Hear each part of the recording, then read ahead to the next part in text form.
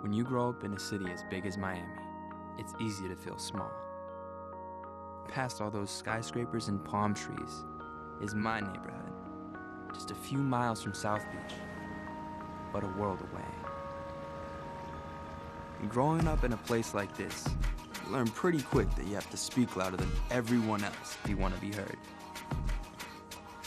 Because the truth is, everyone has a voice. And there comes a time when you have to shout, to fight for what you want. For me and my friends, that time is now.